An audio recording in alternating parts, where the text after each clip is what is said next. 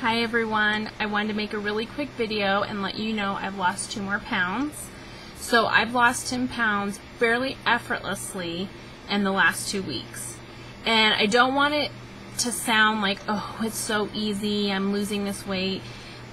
But I've gotten really clear on to stop eating out of emotions or stress or as a precursor to trying to prevent like playing defense. Like sometimes I think I would eat in a certain way that I know would kind of slow me down, slow my mind down, calm me down. So sometimes I would eat before I was even stressed. So I was eating pre-stress, post-stress, um, you know, anything, anytime I needed to like be soothed. And it's a lot like what an alcoholic does, a spend shopaholic does, workaholic, you know, whatever it is that you do to get your high and to numb out. That's what food was for me. And I really started to realize that yes, the type of food you eat, of course, has an impact on you physically, okay? But the way you eat and the why, why you eat, I think conquers all of it. You've got to figure out the why, and then you need to stop doing that and find replacements. Now, I still, you know, I feel like on a day to day, like this is all very new. So I feel like on a day in, day out basis, um, I'm, I, I don't feel totally comfortable yet, but because I'm still working on it. And I imagine that every single pound I lose is going to be hard won because every single pound I lose is basically physical evidence of me finally acting like a grown up and responding to situations that used to stress me out and that caused me to eat things that I knew were not good for me. It's a it's proof that I'm not doing that anymore. And um, you know, I'm trying to treat myself almost the way a nurse would treat you. If a nurse was taking care of you, she would only feed you things that were healthy for you, that were healing for you. Okay? And that's how I'm kind of treating myself. I went to a Bikram yoga, uh, I can't talk, a Bikram yoga class last week, and I actually did a whole month of Bikram last year, and I'm trying to get back into yoga again. And I got really, really sick after the class, which is really normal.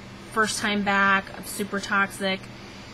And normally I would have just wanted to eat something to conk out because I had a headache and a migraine I felt weak. Instead, I had some soup and I had some vegetables and I think I had hibiscus herbal tea. I mean, things that were really healing and soothing to me. And I fell asleep that night and I felt better the next morning. But the thing is, it's every meal is a battle, you know, and every time I handle each meal in a better way is a battle won. The war is not over because I'm not at my goal weight, but the battles are being won, and every single pound is going to be a battle, a mini battle. And every single meal is going to be a mini battle. And when you've had an eating disorder the way I have, and you've had eating is issues the way I have all these years, it um, it's not going to go away overnight. I mean, I'm literally retraining myself to deal with food the way I'm supposed to. I'm supposed to use it to, live, to eat, to be healthy, to have energy to do the things I want to do in my life. It's not supposed to be a panacea or a band-aid for my problems. So, um, I just wanted to share that with you guys. And I'm going to keep doing these weekly update vlogs. I know a lot of my subscribers are really requesting, like I do more educational vlogs like some of my past videos and I'm still passionate about telling you guys about certain things especially that have to do with food and addiction. But keeping this weekly vlog is also important because I want people to see that losing weight is not just this oh I went on a diet and I followed it and now I'm great. Okay? Maybe that's true for some people uh, but the mo most people I know who lose weight gain it back, and the reason why is because you have not dealt with what's going on on the inside. Okay? Diets only fix numbers on scales. Diets do not fix your soul, your mind, your heart, the way you deal with stress. It doesn't fix any of that. And if you're someone who yo-yos up and down, up and down, you have an issue with that. It's not an issue if you, if you can diet. If you've ever dieted and lost weight, congratulations, you're a successful dieter. You have it within your power to diet. Okay, but if you're talking about trying to lose weight in a permanent way with no yo-yos, okay, then I want to document that. I want you guys to see that I'm a normal person. I've had these struggles. I've had successes even here on YouTube.